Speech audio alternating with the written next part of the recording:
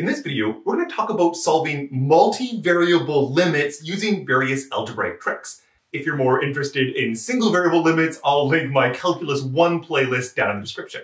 Now, in our first video on multivariable limits, we actually looked at when a limit didn't exist. And one of the big takeaways was that if you approached a point along different paths, then it may have different values. And we had this sort of two-path test to show that a limit didn't exist. But how do you show that a limit does exist? You could check, for instance, 10 different paths or 100 different paths or a million different paths and still not know that you've missed one of them. So in this video, we're going to see how we can use some algebraic trickery, some limit laws to actually answer a wide array of multivariable limit problems. Let's begin perhaps with one of the easiest examples I can think of, one that actually doesn't need any algebraic tricks at all, one that we actually can just substitute the values in. This is a limit of some function, and I do want to pay attention to that underneath the limit sign, we write that x and y, the pair x and y, are going to some point, in this case, 1, 2. Now, if I look at this function, there is a y in the denominator, which could be problematic if y was 0, but because we're sending xy to the point 1, 2, the problem spot in the denominator is nowhere to be seen near this point 1, 2. And as a result of this, we just plug the values in. The answer is going to be, well, 3 times 1 squared, which is 1, plus 1 divided by 2 times 2. This all cancels to be 1. Now, why does this work so nicely? Why am I just allowed to plug it in because there's no problem spots, for example, in the denominator?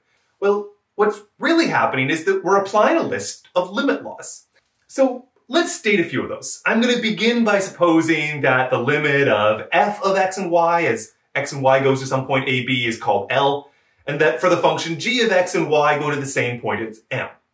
Then I can state the following rules. The first one is sort of an additivity rule. It says, if I take the limit of the sum of two things, then that's just the sum of the two limiting values, the L plus the M. Likewise, the limit of a difference would become the difference of the two different limits, L minus M.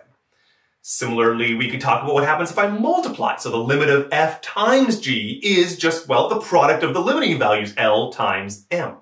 We can divide in much the same way, although there is one caveat in division, which is the denominator has to be non-zero. So if the g of x and y goes to a non-zero value of m, then the limit of a quotient is just the quotient of two limits. And the final one maybe I'll put on this list is about scalar multiples. If you take the limit of k times some function, it just goes to k times the limit, k times L. Now, what's worth noting here is that all of these limit laws are true under that supposition, namely that the original limits, the f and the g, that both of those existed at this point a and b. If that initial assumption wasn't true, then these limit laws are likewise not true. Indeed, we studied limit laws more or less exactly like these back in Calculus 1. We saw all the single variable equivalents of them, and so I'm really just stating all those old laws you thought were true are also true for multivariable functions. I'll note that in this video, we're not really giving the proper definition of a limit, the epsilon delta sophisticated formal definition, and so I'm not going to prove these laws, but if one wanted to dive into the epsilon delta definitions, then all of these laws would be provable from that sort of more sophisticated technique. Nevertheless, for our purposes, we've stated these laws and we can move on with our lives. So uh, let's return to that trivial limit, as I'll call it at the beginning. The reason why it was trivial, the reason why it didn't need any algebraic tricks, and the reason why we could just plug the numbers in, is that it is a combination of, well, elementary things. It's a quotient, and we've seen, well, we know how to deal with quotients. You just do the top and the bottom individually. If I look just at the top, well, it's the sum of two things. We had an additivity law. You can do each of those two things individually. But look at just the x squared. Well, this is kind of like x times x. We've seen all the way back in single variable calculus that the limit of just x, when you take some value of x to some point, say a, is just going to be a. So indeed, this expression is just a combination of different additions and multiplications and quotients of things that we know how to do, and so we can just sort of plug it in. And in practice, for most of these relatively simple limits, you just glance at it, you say, is there any problem spots like a division by zero or square root of a negative? And if their answer is no to those for these sort of simple rational functions, then you just plug in the numbers and that's the value of the limit. Okay, but what happens if it's not so simple? Consider this particular limit. Okay, so what's going on here? The first thing I want to investigate is what's happening underneath the limit sign. There's the point xy going to the point 2, 3. That's just saying I'm trying to get near the point 0.23. Now let me focus a little bit more on that denominator. If you just plug in 2, 3 to this, you can check it's 0 on the top and it's 0 on the bottom. In both cases, it's 0. So I can't use any of those laws. I'm going to have to do some algebraic manipulation first. And the thing that we can do here is factor the top and factor the bottom. So, so let's factor the bottom first. 3y minus xy, there's a y on both sides. So let's just go and factor out that value of y, and so I get a y out the front and then 3 minus x. So now I want to factor the numerator, but this is multivariable factoring. So what can I do? Well, when I look at this numerator, I see that there's a y squared in two of the terms and then nothing to do with y in the remaining terms. I also see that two of the terms have an x and two of the terms do not. So one of the things I might try to factor out might be y squared, how about plus 2? Let's see if that works. So I'm going to try to factor out a y squared plus 2, and indeed everything works out nicely. y squared plus 2 times x minus 3, if you multiply all of that out, gives you just that original numerator. So this multivariable factoring is kind of the same basic idea as single variable factoring, but now we have it simplified. Notice there's an x minus 3 on the top and a 3 minus x on the bottom, which is almost the same except for a 9 sign. So I'm going to cancel the two of them. Uh, I have to keep in track that I'm not directly canceling them. I'm canceling them in the way that's going to introduce a minus sign. But when I do cancel them, well, there's that minus sign on the front, and then just y squared plus 2 on the top, and just y in the bottom. Now, while the two functions are not identical, the two limits actually are, because the limit doesn't care about what happens at a specific point, it cares about what happens around it. So even though the term with the two factors on the top and the bottom is just not defined anywhere where x is equal to 3, you can cancel them and it still works in the limit. Now it's a limit that is like the first example. There's no longer a division by 0 anywhere near the point 2, 3, so I can just plug the numbers in, and minus 11 over 3 is my final result. Factoring the top and bottom and cancelling was indeed a standard trick back in Calculus 1, and the same basic idea repeats itself, we just have to do multivariable factoring now. All right, let's look at another example. In this example, we're going to talk about one that has some square roots in it. So again, this limit is going to some particular point. I've chosen 2, 2 here. But I've made the restriction that x plus y cannot equal to 4. If that was the case and x plus y was 4, then it would be a 0 in the denominator. This wouldn't make any sense. So we're going to explicitly restrict that we're going towards the point 2, 2, but not along any path that ever has that x plus y is actually equal to 4. You might also think, well, shouldn't you also make sure that x plus y is a positive number because you've got square roots after all, you wouldn't want square root of a negative? Well, that's true, but if I look at the point 2, 2, the limiting value, well, 2 plus 2 is 4. The inside of that square root isn't remotely close to a negative value, so so in the limit we only care about values close to 2, 2. We never have to worry about negatives at this particular point.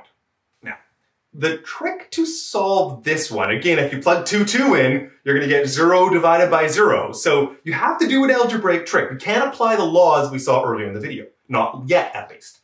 And the standard trick here is to multiply by the radical conjugate. In the denominator, you have the square root of x plus y minus 2. And so what I'm going to multiply by is square root of x plus y plus 2 on the top and on the bottom. The reason I'm allowed to do this is that multiplying by the same thing on the top and the bottom is just a funky version of multiplying by 1. So I'm allowed to multiply by this. However, it has a very nice advantage when it actually comes to computing this. So let's actually multiply out that denominator. The top, by the way, I didn't touch, it just saying x plus y minus 4 times that, you know, square root business. There's, there's nothing changed on the top. Well, on the bottom, something has changed. Because if I multiply the two square root terms together, I get x plus y. If I multiply the minus 2 and the plus 2, I get a minus 4. And then the other two terms, they cancel. And then when I look at this, it's actually really, really nice because x plus y minus 4 appears on the top and it appears on the bottom. And so again, I can cancel on the top and the bottom. This is going to get rid of that division by zero problem I've been having. This is just going to leave me with the limit of square root of x plus y plus 2 on the top. That's it now. And now there's no more problems. As we're going to see in a moment, square roots also play really nicely with limits. And so we need, I can just plug these values in and I get this square root of 2 plus 2 plus 2, which adds up to 4. So again, we have an example where a little bit of algebraic trickery has allowed us to cancel the fact that it was a zero over zero indeterminate form, and we've managed to determine the value by plugging in with our laws. Now, remember that list of limit laws with the additivity property and being able to multiply and so forth? I want to add one more to this particular list. I want to assume that I've got a multivariable function f of xy, and its limit as you go to ab is just L. But then I'm also going to assume that I have another function, a function g of x, a single variable function, and my single variable function is continuous at L. And I'll remind you that continuous means that the limit of the function is just the same thing as the function value at the particular point. So what I can do with this is construct a composition of functions that is g of f of x and y, and I can take the limit of that composition as xy goes to ab. Then the idea here is that g plays nice, because it's continuous, at the value of L, and that the f, the inside, is going towards the value of L. So what is this? It's nothing but g of L. This is actually going to radically expand what we can take limits of. For example, the square root function has the property that it is continuous when x is greater than zero. And so in our previous example where we used that square root, we're effectively just using this theorem. Or as another example, if I want to look at the limit of sine of some messy combination x squared plus y, well, the inside, the x squared plus y, that has no problems. We can use our previous rules on that and just plug in the value that it's going to be pi. And then from what we just said, sine of pi is just zero and we can just plug it in. It's just a g of L, or in this case, this sine of pi. So the point is that with exponentials and sines and cosines and square roots, as long as your inside is greater than zero, and many other functions, if you knew that they were continuous back in Calculus 1, then by this theorem, you're going to get continuity of sort of compositions of this nature all for free as well. So we've radically been able to expand the amount of functions that we're now capable of computing the limit of. Alright, I hope you enjoyed that video. If you have any questions, leave them down in the comments below. Give the video a like for that YouTube algorithm, and we'll do some more math in the next video.